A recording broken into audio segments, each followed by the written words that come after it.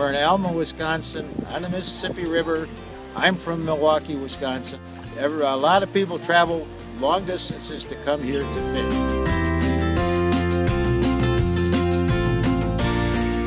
Uh, we're just your basic sportsmen. We're looking to catch fish. This is a place where it's easier to catch fish because the dam stops them from going further upstream and they kind of gather here so they're a little more easy to catch.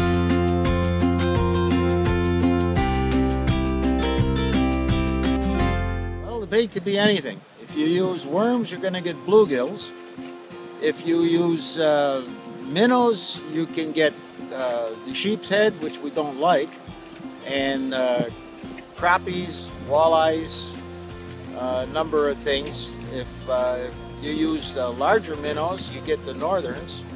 Uh, usually we, the suckers are, uh, the minnows are suckers.